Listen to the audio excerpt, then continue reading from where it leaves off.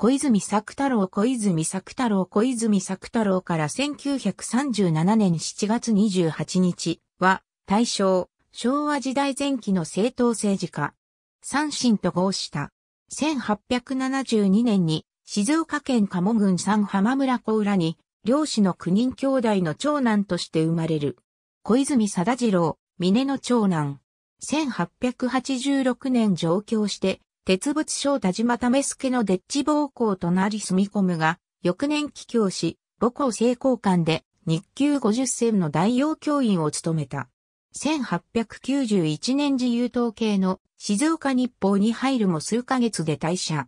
後大衆小説家、村上並六の触覚となった。1894年、板垣大輔が社長の自由新聞に入社し、高徳修水らと思想上の相違を超えて、信仰を持った。1896年、自由新聞が廃刊になると、星徹の目覚まし新聞に移り、1898年には熊本で自由統計の九州新聞が創刊されると、主筆に招かれて赴任した。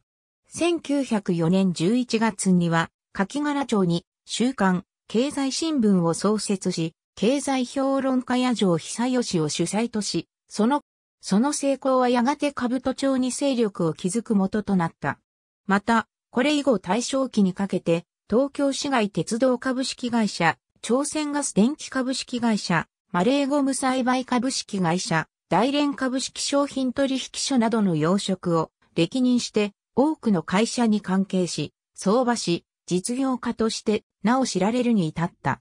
1912年5月、第11回衆議院総選挙に静岡県第2区から初めて出馬し、以後当選7回、立憲政友会に所属し、政界の惑星と目され、参画しない政変はなかった。1925年顧問、後総務。高橋コレギ予総裁を担いでの第二次五権運動、田中義和総裁の実現に活躍したことで、政界の作詞の名を検伝された。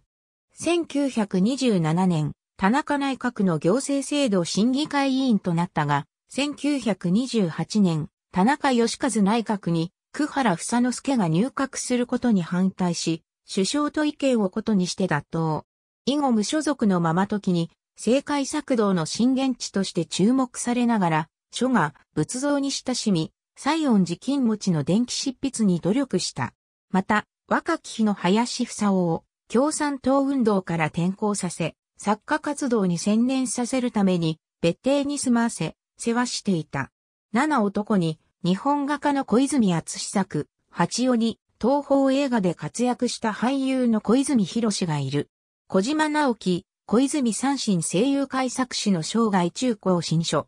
三猿の子は小浦の成功鑑賞学校の訓導、戸賀の梅次郎からもらう。また明治43年の大逆事件の直前には、当局と交渉して、湯河原で療養させるという名目で、高徳修水を東京の実行グループから話している。木宮栄彦、小泉三神、評論、逸話、年譜、床派学園、林房夫著、小泉さん、猿沖縄のこと、文学的回想新潮社インタビュー小泉、厚作詞回想より、官報第1499号、付録、事例2931年12月28日、小泉三神略歴ページ、ありがとうございます。